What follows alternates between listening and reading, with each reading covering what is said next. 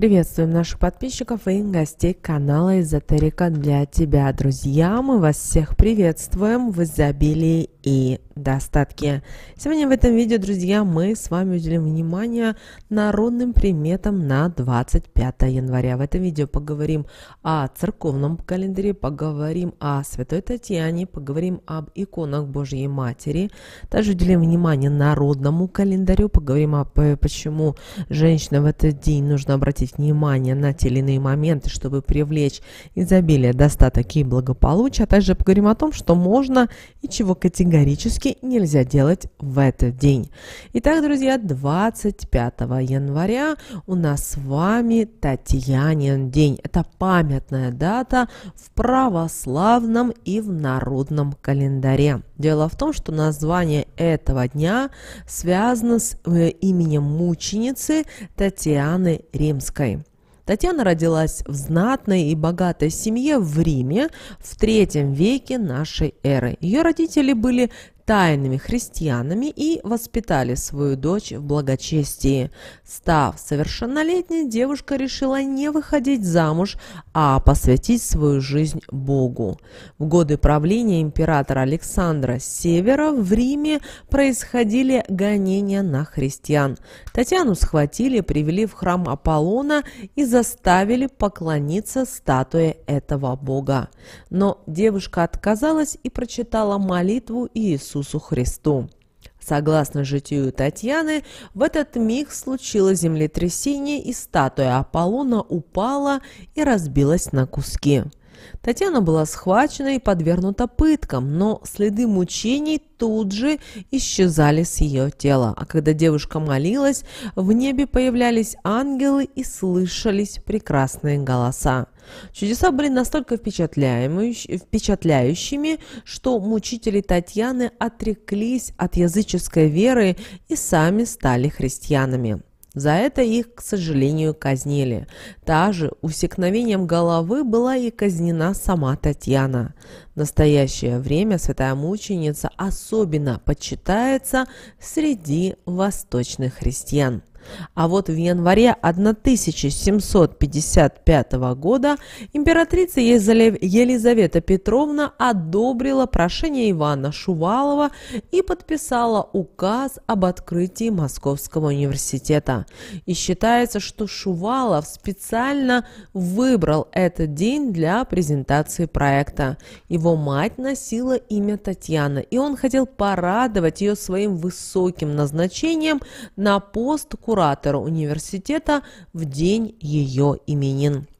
Впоследствии на территории университета была построена церковь в честь Татьяны, а сама святая была объявлена покровительницей студентов.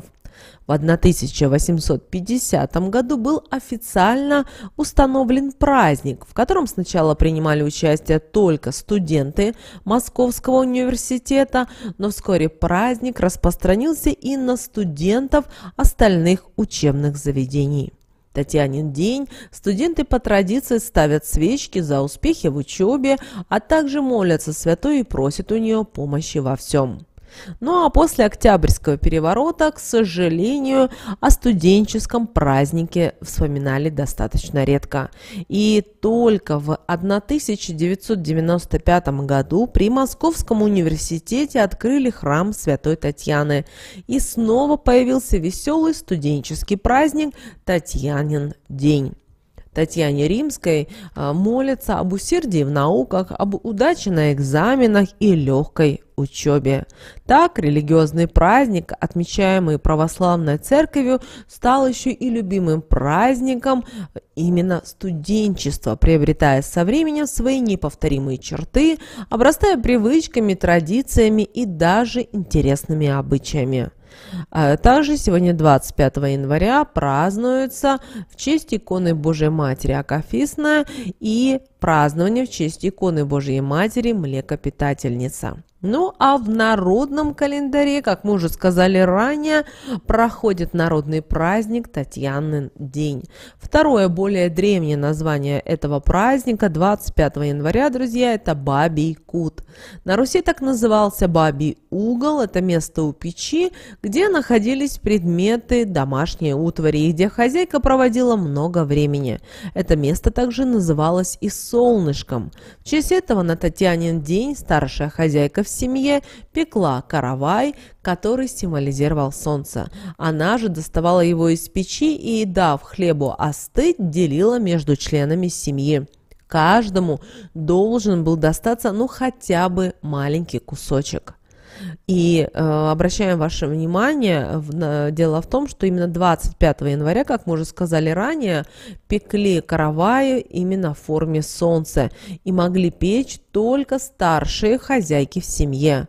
Хлеб вынимали обязательно из печи, давали время немножечко остыть, и каждый член семьи должен был съесть хотя бы небольшой кусочек, чтобы солнце подарило ему немножечко своего тепла.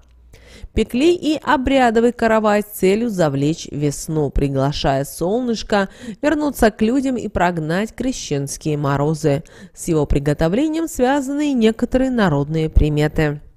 Если хлеб в середине поднялся холмиком, то год будет удачным. Ну а гладкий каравай, каравай без единого изъяна к спокойной и размеренной жизни без каких-либо потрясений пригоревшей выпечке не видели ничего плохого. Ей угощали именинницу или именинника. Верили, что это поможет взять человека от жизни все. Тревожным знаком было, если каравай треснул.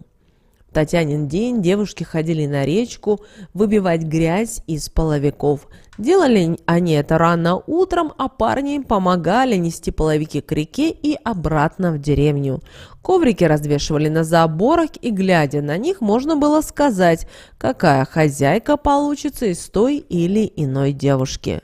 Ну а чтобы сбылось заветное желание, нужно в этот день, 25 января, забраться на самое высокое место в округе и, глядя на солнце, загадать его. Считалось, что если делать это искренне, то мечта обязательно осуществится по морозу в этот день судили и о погоде весной и летом. Поэтому если 25 января солнышко рано покажется к раннему потеплению и прилету птиц. Снег над Татьяну солил дождливое и сырое лето. Какая погода сегодня 25 января, такая и в декабре будет стоять. Ветер с юга к засушливому и малоурожайному лету. Морозная и ясная погода к хорошему урожаю. Тепло и снегопад к неурожаю. Большие сугробы в этот день пророчат много хлеба. Ну а звездное небо к ранней весне. Также мы хотим с вами поделиться в этом видео обрядом, который нужно провести именно этот обряд 25 января в Татьянин день, чтобы не болеть. Этот обряд работает, если болезни не хотят отступать. Для этого нужно 25 января надеть новое нательное белье, постиранная в проточной воде. Далее пойти в церковь и раздать всем нищим, стоящим у церковных ворот по монете. Далее зайти в храм, ни с кем не разговаривая. Сразу же поставить свечку за свое здравие перед ликом Богоматери. Уйти тоже ни с кем не разговаривая, пока порог дом не будет переступлен. Тут же раздеться и на нижнее белье сказать такие слова. «Белье снято, болезнь убрана. Ты мне, Татьяна, помоги, здоровье подари. Божья Матерь поможет. Больше боль болючая меня не потревожит. Прошу вас стократно, пусть уйдет болячка от меня безвозвратно». Белье это носить нужно до тех пор, пока болезнь не уйдет. Стирать можно, но только нельзя сушить на улице, иначе ветер всю силу целебную заберет. После его закопать под сухим деревом подальше от проходного места. Вы знаете, если в этот день родилась девочка 25 января, то она обязательно станет хорошей хозяйкой, у которой в доме будет полный порядок. Также она будет способной к наукам. Ну а если в этот день родился мальчик, то он будет активным, деятельным, добрым и отзывчивым, а также общительным и дружелюбным. Человеку, появившемуся на свет в этот день 25 января, в качестве талисмана подходит черный агат. В ночь с 24 на 25 января сновидения могут указывать на способности и таланты, которые мы можем развить, открывая в себе скрытые возможности. Будьте внимательны, правильно расшифрованный сон может дать вам действительно ценную подсказку об уникальном пути, который лучше выбрать.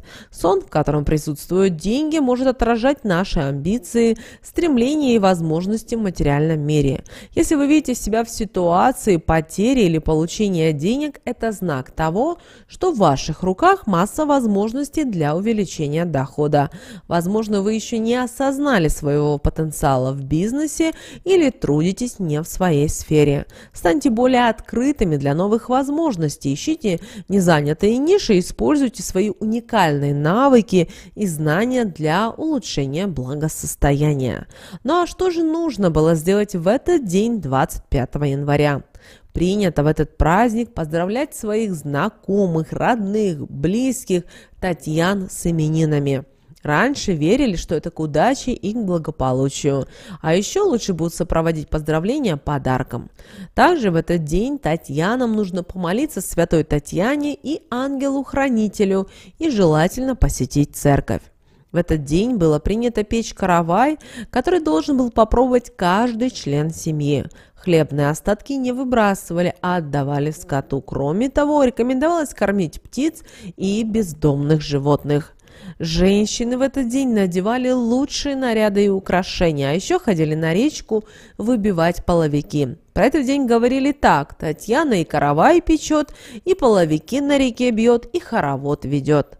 Татьянин день не считалось грешным веселья. Молодым людям нужно, можно было и гулять, и пить. День считался и благоприятным для знакомства. Татьянин день принято было наводить порядок в доме, стирать белье. Раньше девушки обязательно выходили на улицу выбивать грязь и пыль из половиков с утра пораньше. В честь Татьяниного дня часто пекли каравай в форме солнца, чтобы поскорее привлечь тепло и забыть про морозы. Хлеб обязательно ломали и раздавали всем в семье. По виду хлеба говорили, чего ждать в будущем. Красивый, к счастью. К, с бугром посередине дела пойдут в гору и год будет удачным. Треснул тревожный знак, а подгорелым угощали именинников в этот день, чтобы все у них было хорошо. Поэтому обязательно в этот день съешьте кусочек хлеба. И желательно, чтобы все вместе вы съели этот кусок, каждый надломив. Обязательно макните в соль и скажите «Приглашаю в свою жизнь изобилие, достаток и благополучие. Приглашаю в свою жизнь и здоровье, счастье и удачу.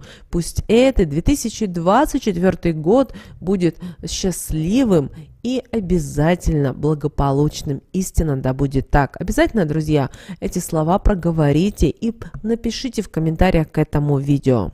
Также в Татьянин день обязательно нужно было творить добро, подавать милостыню и помогать нуждающимся, участвовать в благотворительных мероприятиях. Народные приметы рекомендуют покормить птиц или бродячих животных. Тот, кто это сделает, скоро разбогатеет. На Руси верили, что Татьяна в свой праздник обязательно исполнит любое желание. Для этого нужно было найти самое высокое место в округе. Это могли быть крыши домов и другие рукотворные строения учитывать не надо. Встать лицом к солнцу и сказать это желание громко и четко. Давайте теперь поговорим о том, что же нельзя было делать в этот день, 25 января. Согласно народным приметам, сегодня запрещено кому-либо отказывать в помощи. Как считали наши предки, отказ может стать причиной большой беды. Поэтому даже если нет времени, желания или же возможности помочь просящему, все равно нужно приложить все усилия и сделать то, о чем просят. Не следует в Татьянин день ссориться и выяснять отношения, тем более с близкими людьми. Путь к перемирию будет длительным и сложным или же вовсе невозможным. Проведите сегодняшний день, пожалуйста, в мире и в спокойствии.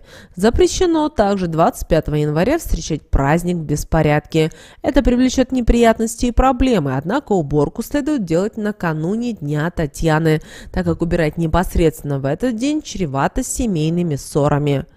Нельзя в этот день родителям ругать, а тем более поднимать руку на детей. Святая Татьяна может наслать на таких мам и пап неприятности и горести, поскольку она за мирное решение конфликта с помощью спокойных и объяснительных бесед. Не рекомендуется выпивать в Татьянин день. По народным приметам нечисть прилетит и начнет вредить, доводя выпившего до безумия, а также может спровоцировать на драку, скандалы, конфликты и другие не очень хорошие поступки. Ну а студентам в этот день нельзя рассказывать о своих успехах в учебе. Могут сглазить, из-за чего ухудшится успеваемость или же отношения с преподавателями. Студенты не должны в свой день вести себя тихо, иначе могут упустить удачу. Поэтому 25 января как можно веселее и активнее проводите студенческий праздник. Тем радостнее и легче считается, что будет учеба. Запрещено студентам в этот день выкидывать мусор из своей комнаты. Вместе с ним можно выбросить и накопленные знания, что чревато низкими оценками на экзамене или вовсе провалом сессии. Девушкам с именем Татьяна нельзя забывать о сегодня о своем ангеле-хранителе. Посетите храм и поблагодарите святую Татьяну за помощь и опеку. Кто же проигнорирует этот совет, может рассердить святую, и она, чтобы проучить свою подопечную, нашлет на нее всевозможные неприятности. Друзья, прямо сейчас ставьте лайк этому видео. Обязательно в комментариях поздравьте всех Татьян с их праздником. Пусть в вашей жизни будет изобилие, достаток и благополучие. Друзья, кто спрашивал, как можно нас отблагодарить, друзья, ссылку в описании в этом видео вы с помощью доната, переходя по ссылке, можете перевести ту сумму, которую вы считаете нужной и э, важной. Мы всех благодарим за то, что вы с нами и то, что нас поддерживаете. А прямо сейчас на экране вы видите два всплывающих окна. Друзья, это следующие рекомендованные видео для вас. Нажимайте на то видео, которое вам на интуитивном уровне понравилось больше и смотрите. Всех вам мыслимых, друзья, и немыслимых благ. Услышимся Увидимся с вами уже буквально в следующем видео.